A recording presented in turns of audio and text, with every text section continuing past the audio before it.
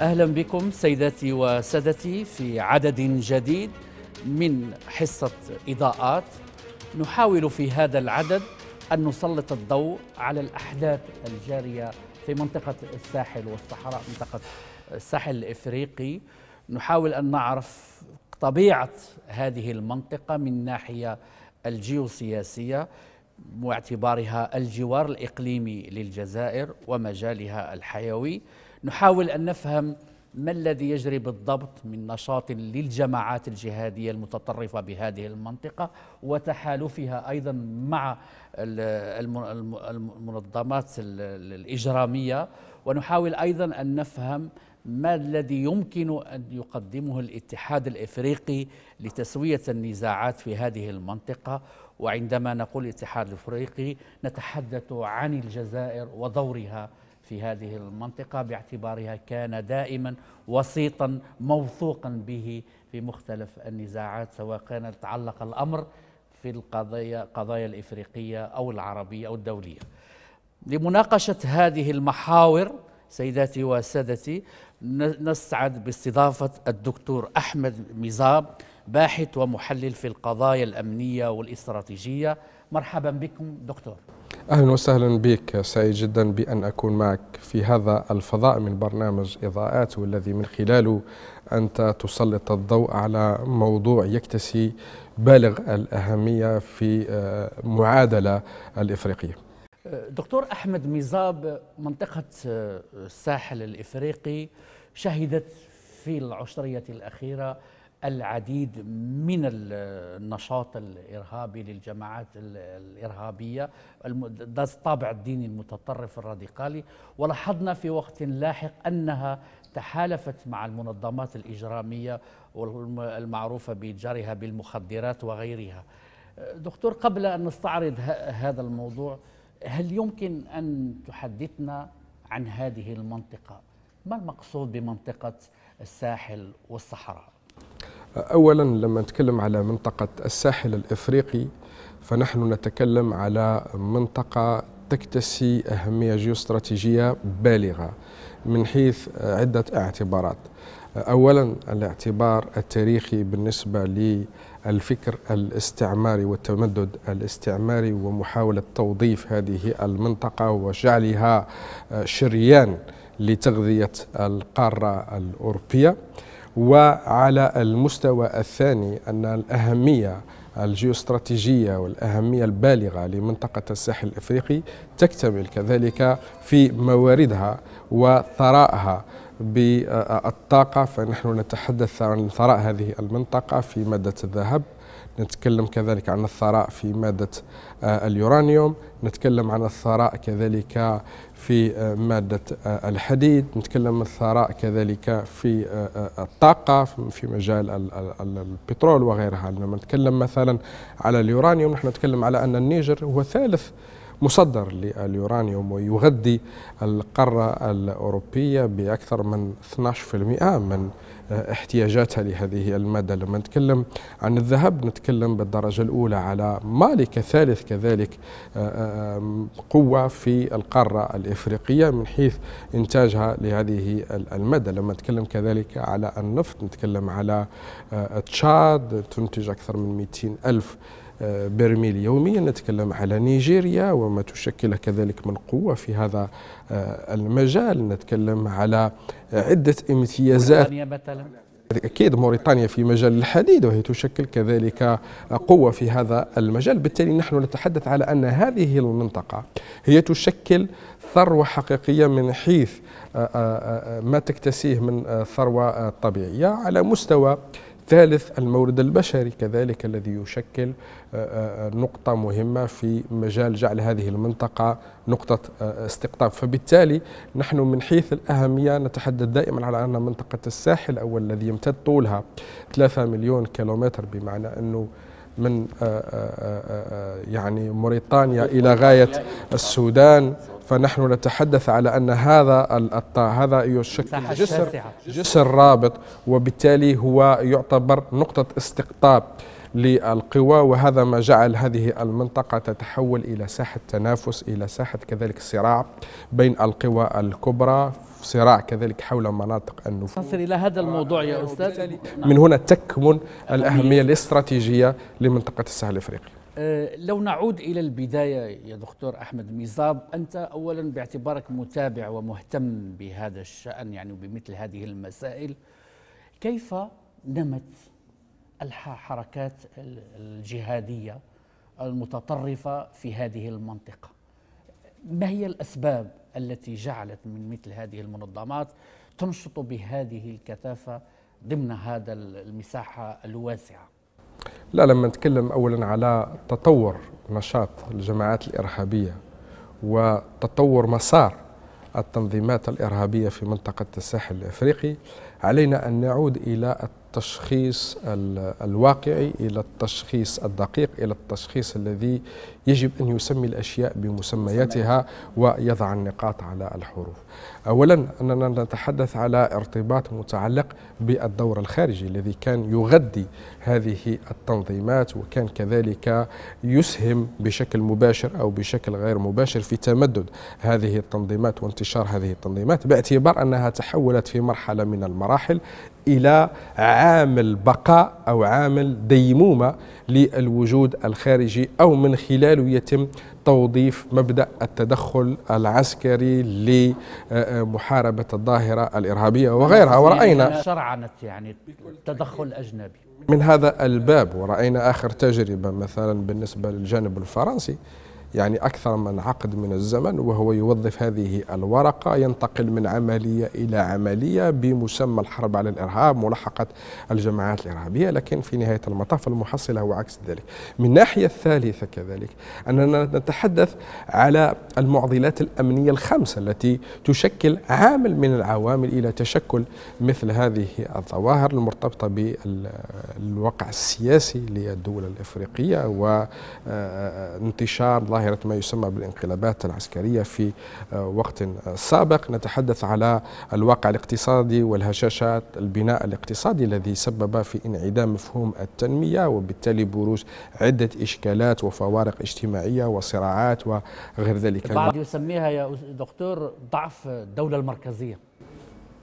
في في هنا تختلف من دولة إلى دولة. خليها نوعا ما عن المناطق الريف التي تنشط تنشط فيها أكثر مثل هذه الجماعات. هي, هي تختلف من دولة لدوله لكن في المحصلة غياب مفهوم التنمية هو معناه بروز الفوارق بين المناطق إلى غير ذلك. المستوى كذلك الثالث وهو المتعلق بالحقب الاستعمارية وما خلفه من آثار أثرت بشكل كبير جدا على البنية الاقتصادية البنية السياسية البنية الاجتماعية وحتى كذلك البنية الثقافية والدينية. وهذا ما شكل إلى بروز تيارات إيديولوجية متصارعة متخاصمة وتتحول إلى حركات متطرفة. ناهيك كذلك على المسألة المتعلقة بالصراعات الإثنية والقبليه المتعلقة بالجانب الهوية. و النقطة الأخرى وهو التحالف العضوي ما بين الجريمة المنظمة والظاهرة الإرهابية. من ناحية آه، ثالثة نتحدث كذلك على تشكل الظاهرة الإرهابية وتمدد الظاهرة الإرهابية وتغذي الظاهرة الإرهابية من الصراعات وحالة عدم الاستقرار التي تعرفها كثير من هذه الدول وهو ما يوفر رواق آمن لهذه التنظيمات في البروز وفي التحرك وحتى كذلك في كسب ما يسمى بالبيئة الاجتماعية الحاضنة باعتبار أنها تجد حواضن توفر الحماية والبقاء لهذه التنظيمات وهو ما أدى إلى استفحال هذه الظاهرة وانتشارها في المنطقة. دكتور أحمد ميزاب إذا نحن يعني تابعنا ما كنت يعني تكرمت بتقديمه حول أسباب هذه تفشي هذه الظاهرة هل الدول الإفريقية المعروفة يعني على طول منطقة الساحل الإفريقي هل فعلا كانت لم تجد لنفسها كيف تتأقلم مع هذا الواقع الجديد؟ كيف يمكن لها أن تكافح وتحاول تكافح مثل هذه الأنشطة الإرهابية؟ لم تكن مهيئة لمواجهة مثل هذه التطورات؟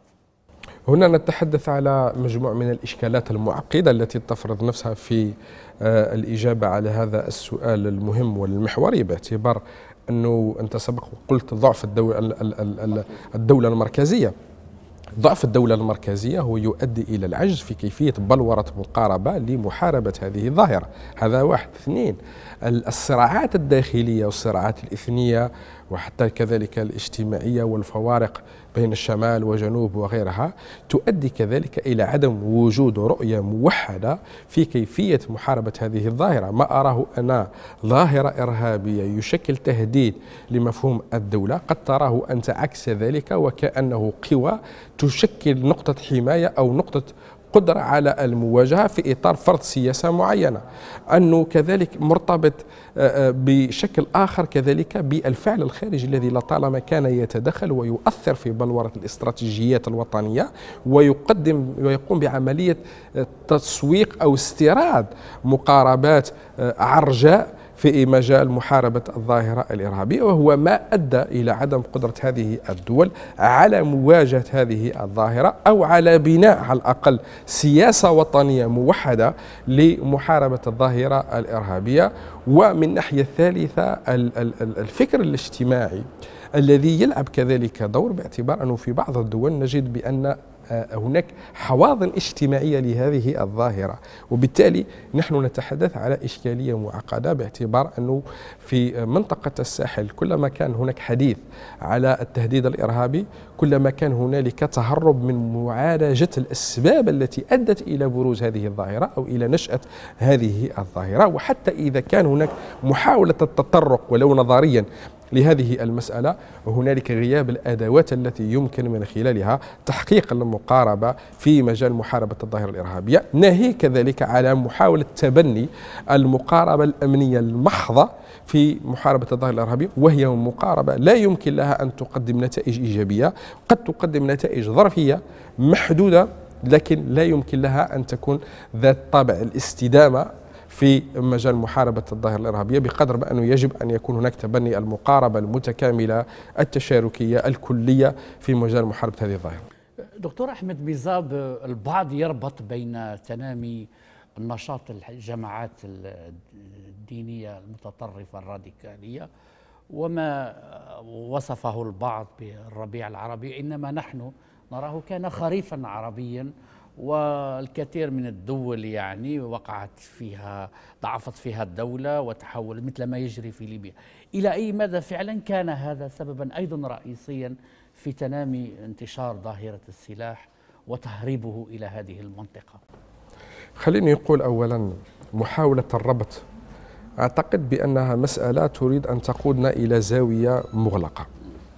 أولا علينا أن نتفق من حيث المبدأ. على أن الظاهرة الإرهابية واحدة لا تختلف من منطقة إلى أخرى. لأنه آه، كان الآخر يريد أن يسوق لنا مفهوم ما يسمى بالإرهاب الإسلامي أو إعطاء صبغة آه، دينية للظاهرة الإرهابية هو العكس. الإرهاب آه، له صناعة واحدة يراد من خلاله أن يكون أداة للتوظيف في إطار التفكيك في إطار إعادة رسم الخارطة في إطار السيطرة على مناطق النفوذ إلى غير ذلك من الأدوات التي توظف من خلالها هذه الظاهرة. بذلك أعتقد بأنه انتشار هذه الظاهرة ورأينا أنه في المحطة بين 2014 إلى غاية 2018 انتقلنا من الحديث على الإرهاب الذي تعرفه المنطقة الإفريقية أو الذي تعرفه منطقة الشرق الأوسط إلى ما يسمى بالإرهاب العالمي الذي أصبح شبه يوميا يضرب كل دول العالم ويشك ويهدد كل دول العالم. رأينا أوروبا كانت آه، آه، تحت وطأة التهديد الإرهابي والفعل الإرهابي.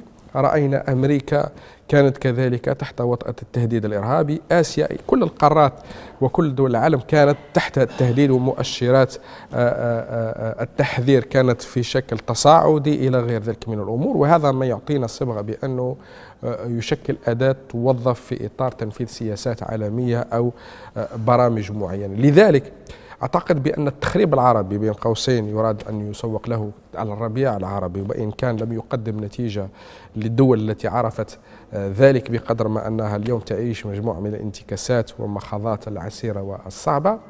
هو كان يراد من خلاله نشر التهديد الإرهابي والظاهرة الإرهابية لعديد من الاعتبارات. يعني آه، آه، أولا رأينا بأن مفهوم الدولة الوطنية تحول في عديد من هذه الدول. رأينا التركيبة الاجتماعية أصيبت بشرخ أصيبت كذلك بانقسام بتفكك وبتفتت. رأينا كذلك بأن اقتصادات هذه الدول عرف نوع من حالات الانهيار وهي اليوم دول مدانة ودول تبحث كذلك على ديون لدى صندوق النقد الدولي وغيرها. نتحدث على أن آه، هذه الظاهرة بقدرة قادر تسيطر على مكامن القوة والطاقة وأن هذه الظاهرة تحولت من العمليات المعزولة المنفردة الخفيفة إلى العمليات المركبة المهيكلة الثقيلة. بالتالي نحن نتحدث على التطور في الأداء الاستراتيجي لهذه الظاهرة. هذا ما يعطينا ربط بأن المسألة بعيدة كل البعد على آه، أن نقول بأنها انتقال بقدر ما أننا نتحدث على توظيف هذه الظاهرة في إطار تنفيذ مشروع وبالتالي المنطقة العربية حينما عرفت ما يسمى بالربيع العربي كان الحديث على مشروع سايكس بيكو اثنين إعادة تقسيم المنطقة العربية ورأينا الآثار والانعكاسات. لذلك نحن اليوم نتكلم على مجموع من المعطيات التي يجب أخذها بعين الاعتبار في الدراسة أو في التحليل أو حتى كذلك في متابعة سيرورة تطور هذه الظاهرة. بالعودة إلى منطقة الساحل الإفريقي دكتور أحمد ميزاب في تقديركم إلى أي مدى ساهمت القوى الأجنبية في تأجيج الصراعات داخل هذه المنطقة وتمويل أيضا النشاط الإرهابي من خلال دفع الفدية من أجل الإفراج عن الرهائن مقابل أموال ضخمة ساهمت في تمويل الجماعات الإرهابية المتطرفة. خليني أقول آه، أولا نحن ندرك جيدا وحينما ننزل إلى الشارع الإفريقي ويطرح السؤال البسيط من الذي يصنع السياسات؟ الجواب سيكون الحديث على القوى الخارجية التي تؤثر في صناعة القرار وصناعة حتى كذلك السياسات والقادة والمشهد السياسي والاقتصادي والاجتماعي. من الذي يتحكم في الأداء الاقتصادي؟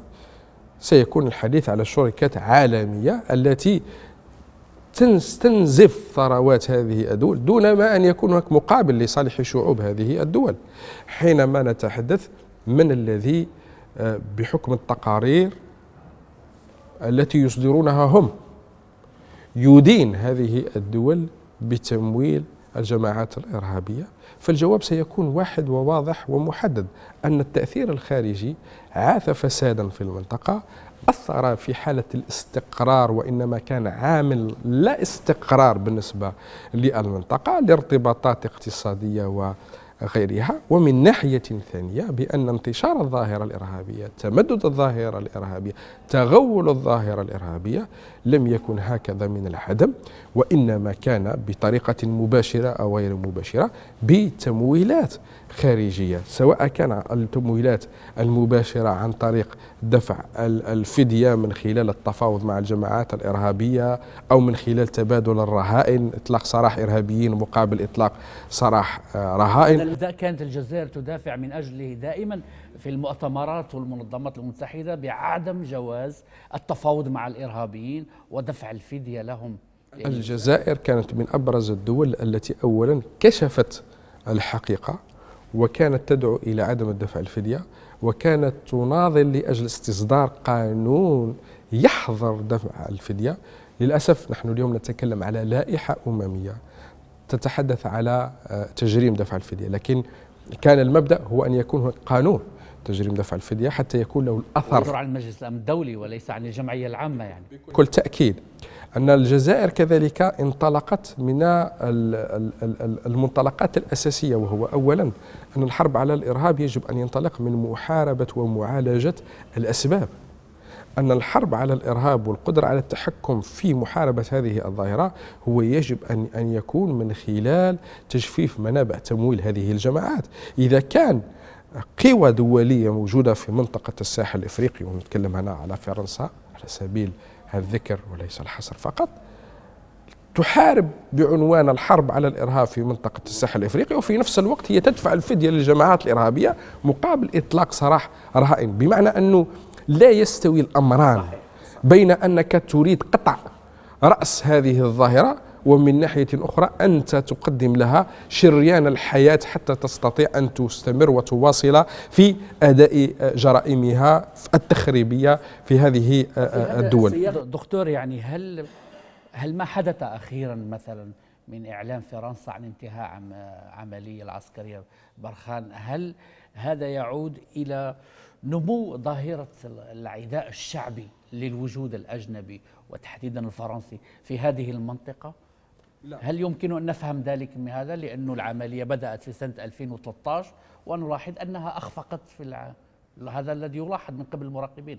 لا هو شوف المسألة يجب أن أن تقرأ من زاوية أكثر آه، شمولية وأكثر اتساعا بمعنى صحيح نحن نتحدث على أنه في الفترة الأخيرة هنالك ما يسمى تصاعد صوت الجماهير الإفريقية المناهض للوجود الفرنسي والذي تزامن و تحولات سياسية في عديد من هذه الدول وبروز قيادات جديدة ذات توجهات رافضة للدور الفرنسي في المنطقة ويحمل الجانب الفرنسي مسؤوليات التعثر الذي تعرفه منطقة الساحل الإفريقي بصفة عامة هذا صحيح من جانب ولكن علينا أن نأخذ كذلك من جوانب أخرى أن هنالك ما يسمى بتصاعد التنافس الدولي خاصة وأننا في المعادلة الدولية. اليوم نحن نتحدث على تحولات عالمية.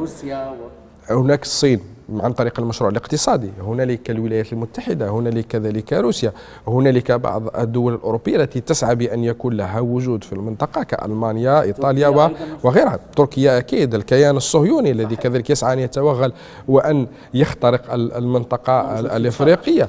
صحيح. هذا من جانب. من جانب ثاني كذلك نحن آه، نتحدث على التحول في الاستراتيجيات. فرنسا في اعتقادي اليوم هي تسير في إطار إعادة ترتيب أوراقها الاستراتيجية وتحديد خياراتها الاستراتيجية بمعنى أنه قال نفس آه، شهور الرئيس الفرنساوي في هذا المجال. يعني بمعنى أنه لا يمكن إقناعي بأن فرنسا سوف تسلم هكذا في منطقة الساحل الإفريقي الذي تشكل عمق استراتيجي بالنسبة للجانب الفرنسي. علينا أن نقرأ ذلك بلغة الأرقام بكثير منها هي اكتفت ب 2500 جندي يعني بين النيجر وتشاد بالأساس, بالأساس فرنسا هي تريد أن تغير قواعد اللعبة. فرنسا تسعى إلى أن تعود للمنطقة ولكن بأدوات جديدة غير الأدوات التقليدية التي أصبحت تدرك بأنها أصبحت أدوات غير مرغوب فيها أو غير مفضلة بالنسبة للمنطقة. وانطلاقا من ذلك هي تعمل على البحث على كيفية إعادة بلورة مقاربة جديدة تحافظ على آه، آه، آه، مكاسبها تحافظ كذلك على مناطق نفوذها بشكل يعني 70% من الطاقة الفرنسية تأتي من, من النيجر.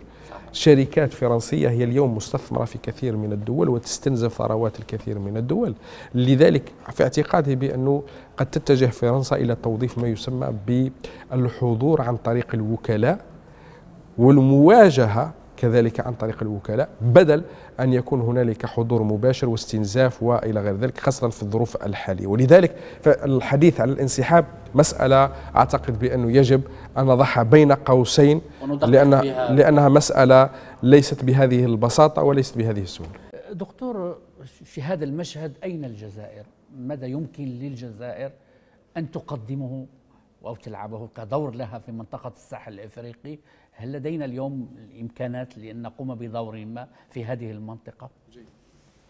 أولا لماذا نتحدث عن الجزائر ونحن نتحدث على منطقة الساحل الإفريقي؟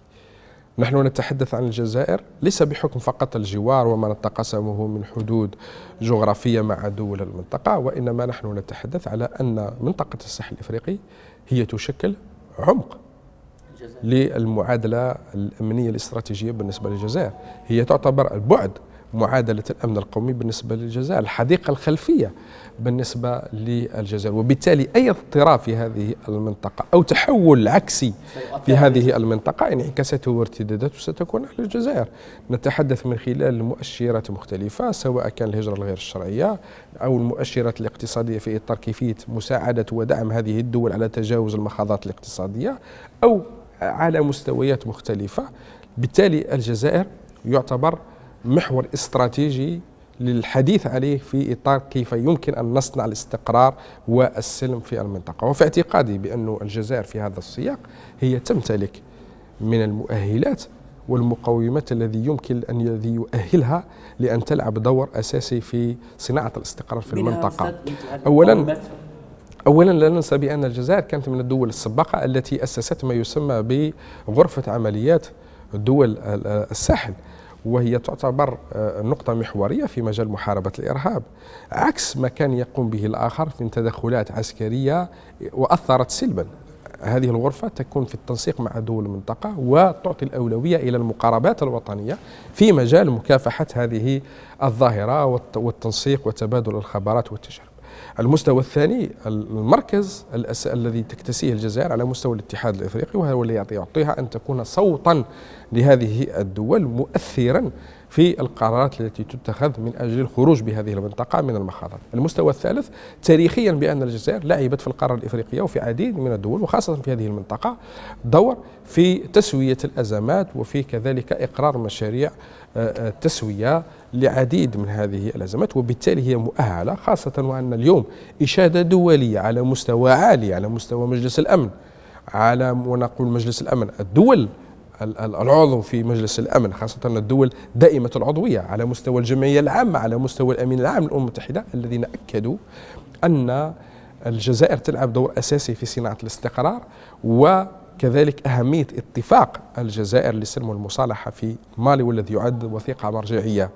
المستوى الثالث كذلك القدرات والمؤهلات تمتلكها الجزائر على المستوى الاقتصادي على المستوى كذلك العسكري على المستوى كذلك السياسي وتأثيرته والذي يمكن له أن يكون فاعلا وعنصر تغيير لصناعة الاستقرار في منطقة تعيش مخاضات وتعيش تعثرات كبيرة جدا لأنه المنطلق الأساسي الذي ننطلق منه هو أكثر الواقعية استقرار دول المنطقة من استقرار الجزائر. دكتور ميزاف قبل ما نختم يعني هذا العدد من هم حلفاء الجزائر في أفريقيا؟ من بإمكانهم أن يساهموا معها في تعزيز موقفها في الدفاع عن أنه يجب أن نعمل على تعزيز الحوار الوطني داخل هذه في هذه المنطقة وأن يكون الحل بالأساس قبل كل شيء إفريقيا. خليني أقول آه، لا أحصر ولكن سأعطي آه، مثال لمرتكزات تسهم بشكل كبير جدا في العمل على بلورة هذا الطرح وهذه الرؤية. تكلم على جنوب إفريقيا بحكم ما عاشته ومعرفته وهذا ما شكل مواقفها في سياستها الخارجية ومبدأها في سياستها الخارجية بأن تكون دائما شريك في صناعة الاستقرار وفي بناء مقاربات السلم ومناصرة الشعوب التي تئن تحت وطأة الاستعمار. النقطة الثانية كذلك نيجيريا التي كذلك تعتبر دولة تواجه مباشرة انعكاسات الانهيار الأمني في المنطقة وخاصة في مصالحها ومكاسبها الاقتصادية على مستويات آه، مختلفة.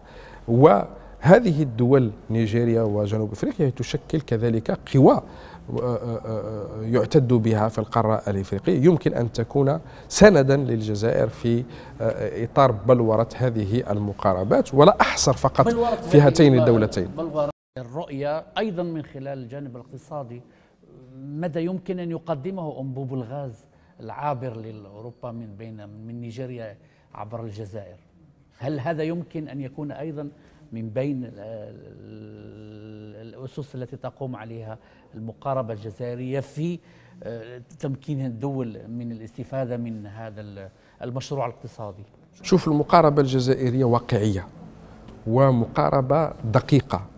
ومقاربة تنم على أنه كان تشخيص واقعي لطبيعة التحديات وكيفية معالجة هذه التحديات. المقاربة الجزائرية مبنية على منطلقين السلم والتنمية.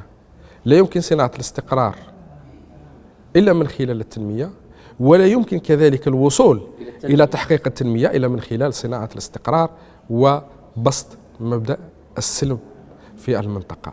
إذا هذان الوجهان لعملة واحدة أو هذه المعادلة المركبة من العنصرين هي المنطلق الذي تنطلق منه الجزائر.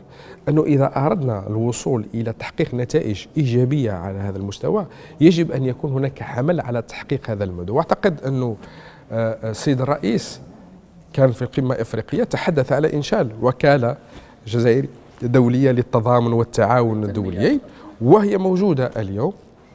وتطلع بهذه الأدوار في هذا السياق. ولذلك نحن نتكلم عن أن الجزائر اليوم هي تسير في إطار تحقيق هذه المقاربة أو على الأقل في وضع هذه المقاربة على الطاولة ليس من خلال الطرح وإنما كذلك اليوم هي مقرونة بالفعل وبالأدوات لأنه مهم جدا. كان ما يعاب سابقا أننا نتحدث على اننا نقدم الطرح لكن لا نرفق هذا الطرح بالأدوات الكفيلة. اليوم نحن نتحدث على ضرورة وجودنا وحضورنا قد نتحدث على مشروع انبوب الغاز قد يكون عينة أو قد يكون نموذج لكن نحن نتحدث على أبعاد أخرى أكثر من هذا وهو أن يكون هناك أدوات مقرونة بالاداء الدبلوماسي وبالفعل الدبلوماسي لتحقيق هذه الأهداف وهذه الأبعاد الاستراتيجية. ماذا يمكن للوكالة الجزائرية للتعاون والتضامن الدولي يعني في هذا المجال؟